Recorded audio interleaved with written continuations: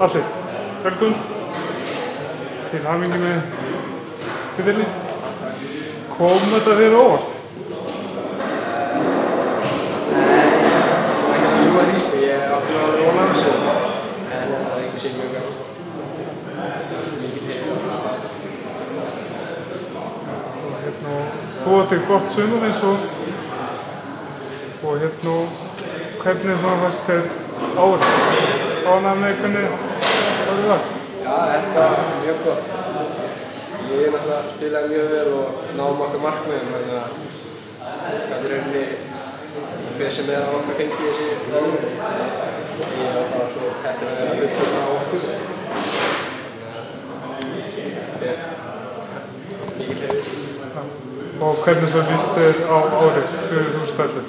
Þegar það verður bara snilt gaman að fara með uppbyrðisfélaginu upp í eftir deilt og fá að sína sér það aðeins, fá sjóf fyrir kamerun og svona. Að Þetta er bara mjög gaman.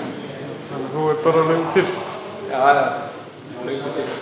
Svo er býðið þessu bara alveg frá því að Greta Óla hjartarhróður skaut okkur á bólakamið í fyrstu deilt, hvað, 2002 eða Akureyri með þrenn á þeim tíma sem hann var til það.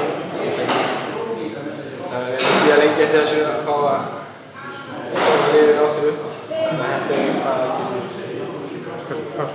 Þannig að þetta er bara